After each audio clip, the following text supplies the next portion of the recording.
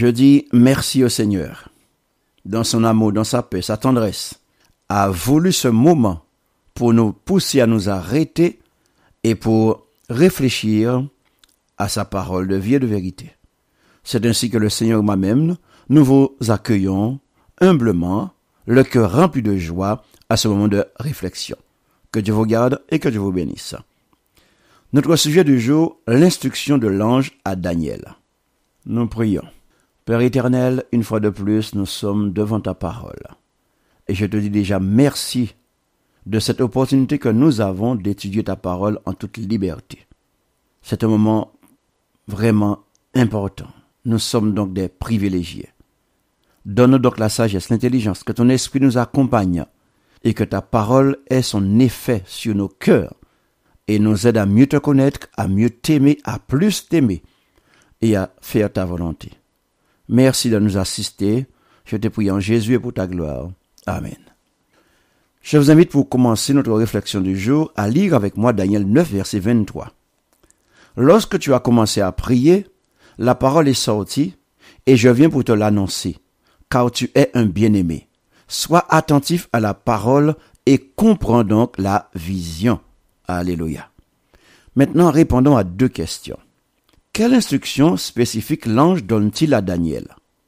Pourquoi est-elle importante pour comprendre la signification de la purification du sanctuaire dans Daniel chapitre 8 verset 14 À nouveau, je demande au Saint-Esprit de vous accompagner dans votre réflexion.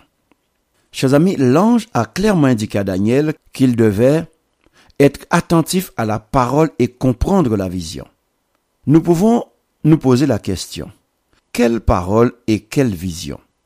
Puisqu'il n'y a pas de vision enregistrée dans Daniel chapitre 9. L'ange Gabriel doit parler de la partie de la vision de Daniel chapitre 8 que le prophète n'a pas comprise, la vision des 2300 jours. Lisons Daniel 8 verset 27. Moi Daniel, je fus plusieurs jours languissant et malade. Puis je me levai et je m'occupais des affaires du roi. J'étais étonné de la vision et personne n'en eut connaissance nous voyons que l'ange Gabriel continue dans Daniel chapitre 9, versets 24 et 27. Lisons.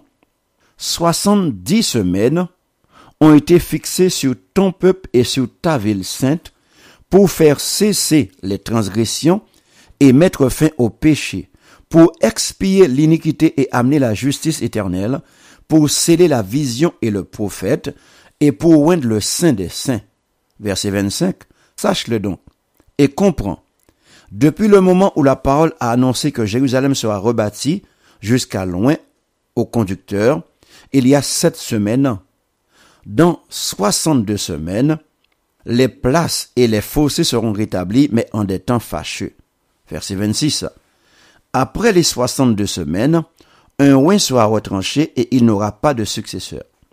Le peuple d'un chef qui viendra détruira la ville et le sanctuaire et sa fin arrivera comme par une inondation.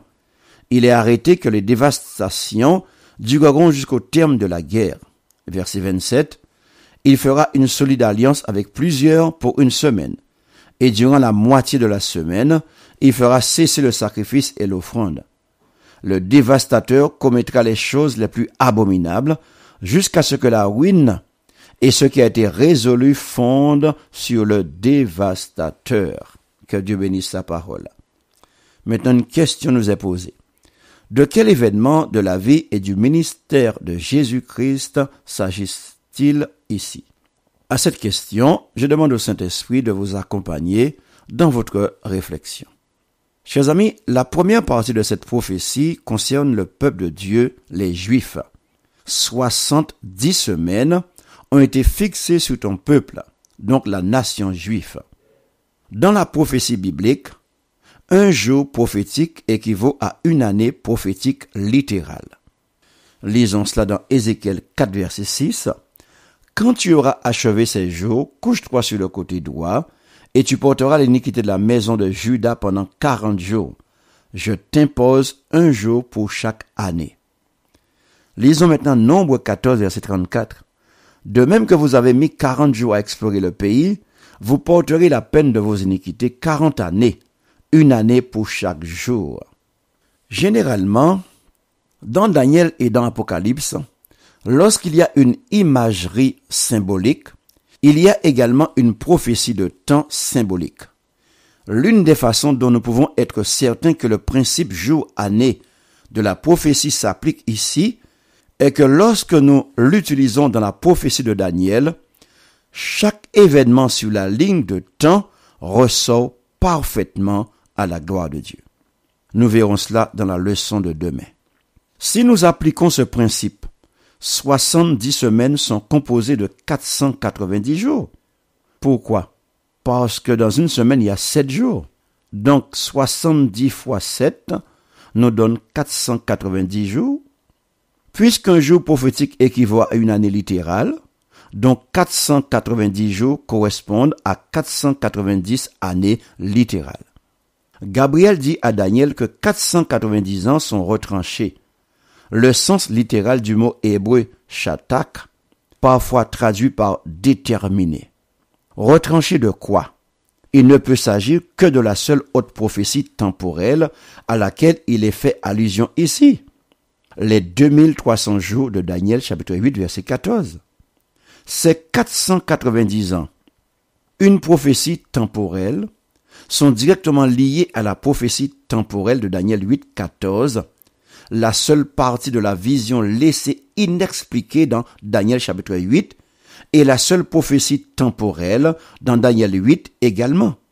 Ainsi, nous pouvons voir que Gabriel, avec cette prophétie, vient aider Daniel à comprendre ce qu'il n'a pas compris dans le chapitre précédent, les 2300 jours. Les 70 semaines de Daniel chapitre 9 sont fixées à partir de la prophétie la plus longue des 2300 jours dans Daniel chapitre 8 verset 14. Le mot hébreu pour fixer apparaît seulement ici dans l'Ancien Testament hébreu. Il peut être traduit littéralement par retranché. Les rabbins utilisaient ce mot pour décrire quelque chose de coupé ou d'amputé d'une période plus longue. Il s'agit précisément ici d'un retranchement. L'avenir du peuple juif, du temple et de Jérusalem est également décrit dans cette prophétie.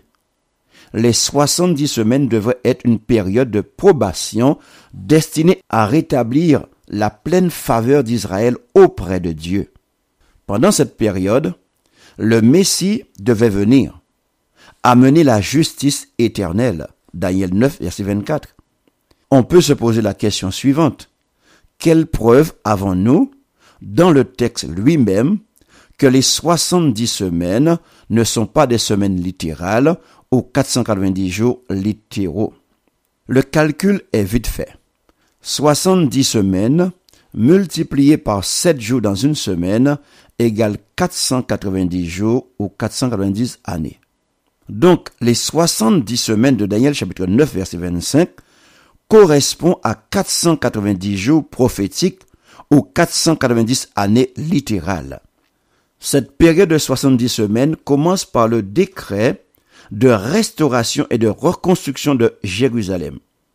Lorsque Babylone a été vaincue par les Mèdes et les Perses, les nouveaux dirigeants ont fini par adopter trois décrets distincts permettant aux Juifs de revenir de la captivité babylonienne à Jérusalem les deux premiers décrets émis respectivement par Cyrus dans Esdras 1er verset 1 à 4, ensuite par Darius, Esdras 6 verset 1 à 12, ne comprenaient pas entièrement chacun des éléments suivants. La reconstruction de Jérusalem, la restauration du temple et la légitimation d'Israël en tant que système judiciaire le dernier des trois décrets émis par Artaxerxès en 457 avant Jésus-Christ a non seulement permis au peuple juif de retourner dans sa patrie, mais il a également fourni des dispositions pour qu'il le fasse et a mandaté la ville de Jérusalem comme centre civil, judiciaire et religieux. Alléluia. En conclusion donc, lorsque vous appliquez le principe selon lequel un jour prophétique équivaut à une année littérale, la prophétie est déverrouillée. Alléluia. Les événements prédits sur la ligne de temps prophétique se mettent en place. Je dirais que le puzzle se met en place. et le plan de Dieu pour son peuple et l'humanité se met aussi en place et est clair. Alléluia. Amen. Merci Seigneur. Que Dieu nous prépare pour la suite demain, Dieu voulant. Prions. Père éternel, encore une fois, merci, car aujourd'hui encore, tu as rajouté un élément de plus dans notre compréhension concernant cette leçon. Et merci de nous aider chaque jour à rajouter cette pièce en plus pour notre compréhension.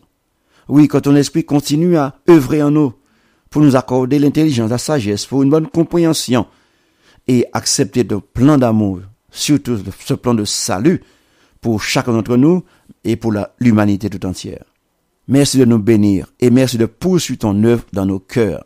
Je te prie en Jésus pour ta gloire. Amen. Amen.